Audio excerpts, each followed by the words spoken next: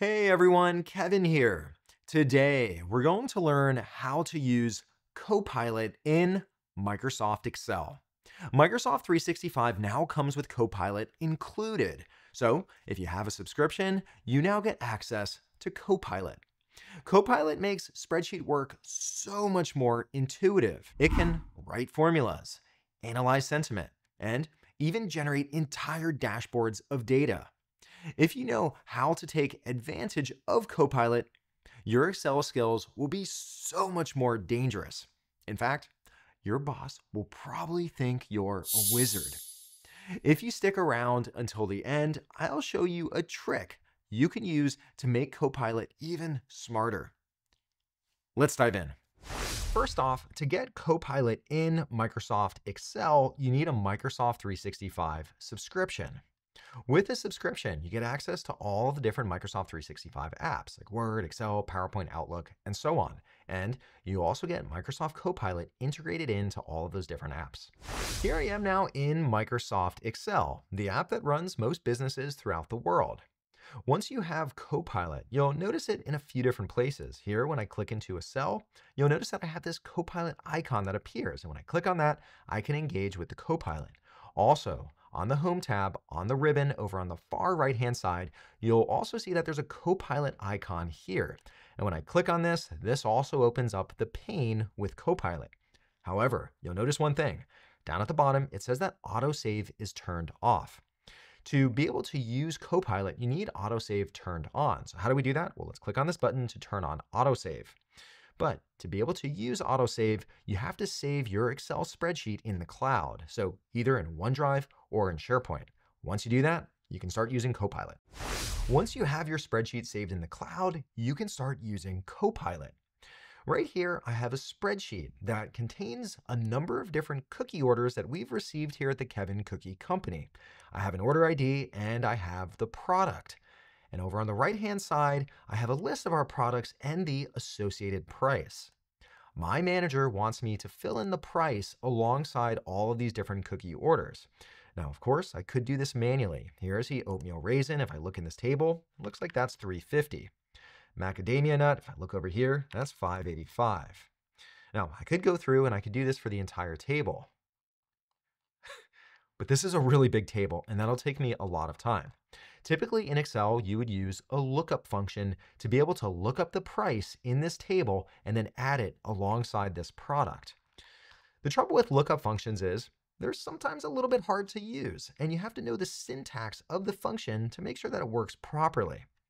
Let's click into this table with all of the cookie orders and let's see if Copilot can help.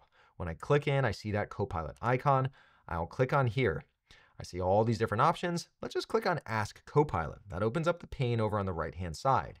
At the top, I see different suggestions for prompts that I can ask Copilot just to inform me as to what's possible. Down at the very bottom, I have this text field where I could type in my own prompt. I know exactly what I would like to do. I want to add a column to this table with all of my cookie orders with the cookie prices. I'm not giving it that much information. I'm not telling it to look at this table and pull in the price. Instead, I'm leaving it somewhat vague. Let's see if Copilot can figure this out. Let's send this to the AI. Copilot responded. If I scroll up a little bit here, it said it looked at all the data and it recommends using the XLOOKUP function to pull in the price. Here I could see how the function is structured. In fact, I could click on Show Explanation and it'll walk me through how this function works. If I look down below, I could even see a preview of what the output will look like. Now right up on top, I have oatmeal raisin, which is 350, and here I see that it's recommending 350. Then 585 for macadamia nut, and macadamia nut is indeed 585. So it looks like this function works properly. Right here, I can click on Insert Column. And when I click on this, it inserts a new column into this table titled Cookie Price. And here I see all the different cookie prices. If I click into any one of these cells, it inserts this XLOOKUP function. And just at a glance, it looks like it did it completely accurately. That helped me save a lot of time. I didn't have to know anything about the XLOOKUP function. It's really great that it inserted a function. I'll zoom out just a tiny bit, and let's say that we actually update the price of our oatmeal raisin cookies. Those raisins cost a lot of money. I'll type in four, and once again, because it used a function, it automatically updates the prices all throughout the cookie orders table. Next up, we'll look at how you can use Copilot to clean your data. Cleaning data is like cleaning the dishes. Nobody wants to do it, but if you don't, you'll get bad insights from your data. As an example, look at column B. It conflates the region together with the product. Who did that? If we look at column C, we have the customer type, and this formatting is horrendous. Also, when I look at the quantities sold, it looks like we're missing some values. Cleaning data is one of the most critical steps in data analysis. I used to joke that 80% of the job is just cleaning the data, and the other 20% was the actual analysis.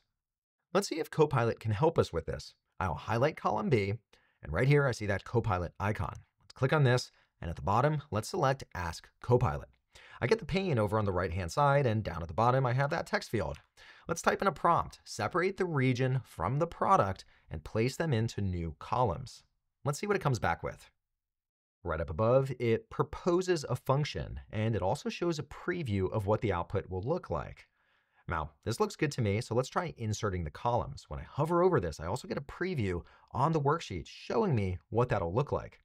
Let's click on this to commit that change. We now have two new columns with the region and the product. Perfect. Let's now go over to the left-hand side and see what else we can fix. In column C, we have the customer type. And look at how all these are formatted. In some cases, we start with a lowercase letter. We have some extra spaces. The formatting is all over the place. Sometimes I wonder at the Kevin Cookie Company. We definitely don't hire the best and brightest. I think as long as you like cookies, you'll get a job. Let's now try a prompt to clean this column. Back over on the right-hand side in the text field, let's type in clean the customer type column. Remove extra spaces, make sure capitalization is consistent. Also, I want farmer's market to appear just like this. Let's send that through. Let's now try inserting this. I'll insert a new column, and looking at this result, it looks very nice and clean. That's perfect. One of the things that I really like is that it's not destroying any of the original data. Instead, it uses formulas and functions to give me the new output. Let's try another one. In column C, I see that some of the quantities sold are empty. Let's see if Copilot can help us fix that. Can you fill in the missing quantity sold by taking into account the unit price and the total revenue? Let's see what it comes back with. Right up above, it generates a function. Let's insert this as a new column, and there it fills in all of the missing quantities. Once again, it does not destroy the original data. Let's try another one. Over on the left-hand side, I have the order month.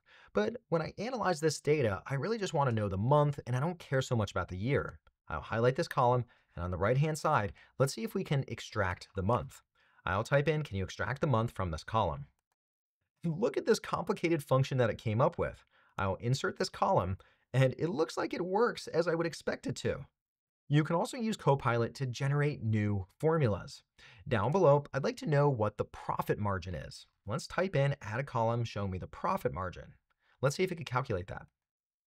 Right up above, it takes the total profit divided by the total revenue to calculate the profit margin. Let's insert the column, and there we have that calculation done for us. I'd like to highlight the rows where the profit margin exceeds 50%. Typically, to do that, you would use something called conditional formatting, but it's a little bit complicated. Right down below, I'll type in my prompt, and let's send that to Copilot.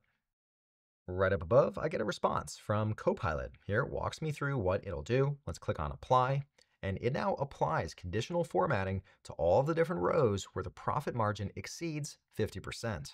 Perfect.